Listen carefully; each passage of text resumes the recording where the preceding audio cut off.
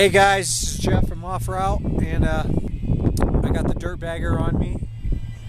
I've got about 50 pounds, and uh, I'm pretty happy, man. I mean, it's carrying better than I thought. I set it up up there and pitched it on a ridgeline pitch, and I pitched uh, the um, Holden pitch, and uh, I'm pretty excited. There's some changes I have we have to make, but all in all, man, it's looks good. So uh, I'm at 9,000 feet and my house is over there. So uh, I'm happy. Later.